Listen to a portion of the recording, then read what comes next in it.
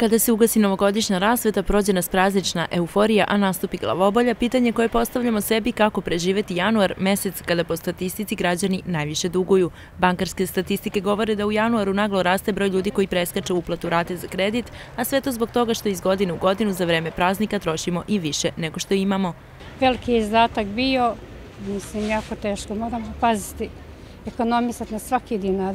Svake godine ista priča, svake godine se skupljamo, štedimo u decembru da bi mogli u januaru malo slobodnije da se ponašamo. Skromno, jako skromno, uz pomoć čekova, čeka me i slava prema situaciji, prema mogućnostima, tako i trošimo. Finansijsko otrežnjenje ispoljava se u povećanom broju traženja keš kredita upravo u januaru. Bilo da je u pitanju kredit, kartice ili dozvoljeni minus, savjet je da se isplanira moment potrošnje, ali još bitnije period otplate.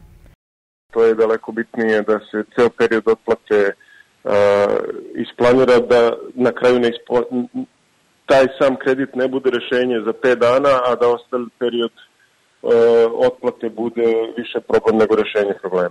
Svesni manje kupovne moći svojih potrošača, prodavci pribegavaju januarskim akcijama što, kako kažu stručnici, nije tržišna utakmica, već prodaja velikih zaliha proizvoda pred istek roka.